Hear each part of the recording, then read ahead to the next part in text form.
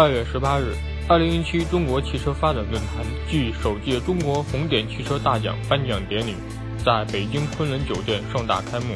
活动期间，车是红点全力打造的中国首家体验式购车平台 APP“ 红点汽车”正式发布并上线。本次盛会受到行业内百余位思考者和变革引领者关注和支持，二十余位行业元老专家。以及八十余家主流汽车企业领导，一百二十余家媒体齐聚北京昆仑饭店，在卞与革的大会主题下，就中国汽车当前热点话题以及二零一七中国及全球汽车市场风云变幻进行探讨，共商品牌与营销之道。随着本次盛会的成功举办，放眼未来，车市红点将以更年轻、活力、向上的态度，聚焦内容传播，保持初心。全新平台红点汽车将致力于体验式购车服务，首创下沉式闭环营销模式，从营销源头入手解决营销痛点，有望成为车企深耕三流线市场利器。